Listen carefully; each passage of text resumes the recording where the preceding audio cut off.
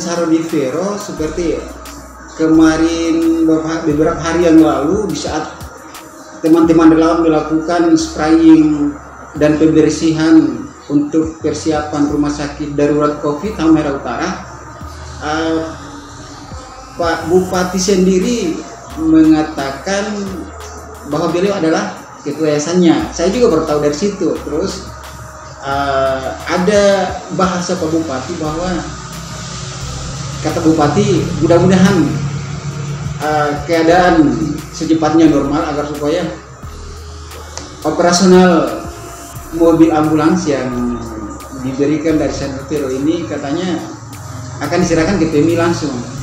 Itu statement Pak Bupati. Itu Ya. disampaikan itu yang disampaikan Ya, itu yang disampaikan oleh Pak Bupati. Ya, dan mudah-mudahan kami juga berharap dan sangat berterima kasih kalaupun eh, Pak Bupati mengatakan seperti itu.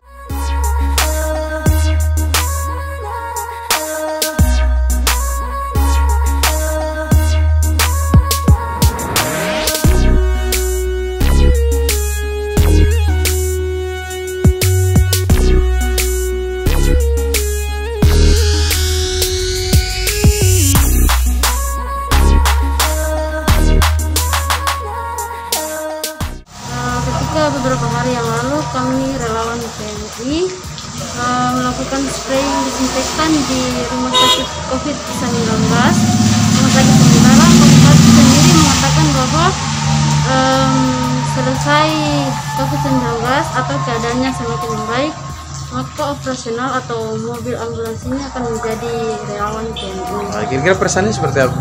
Kami sebagai anggota PMI sangat senang sekali Bupati bahwa mobil yang di belakang saya ini akan menjadi mobil PMI.